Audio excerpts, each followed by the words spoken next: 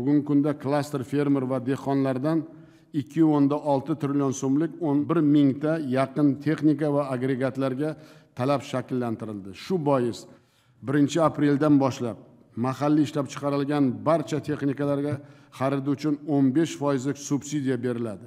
Import qilingan texnikalar uch yil muddatga bojxona boji va utilizatsiya yig'imidan ozod qilinadi. Ular bo'yicha qo'shilgan qiymat solig'ini kechiktirib to'qqiz oy davomida to'lashga ruxsat beriladi. Texnikalar xaridi uchun o'n yil muddatga o'n foizlik yangi kredit ajratamiz.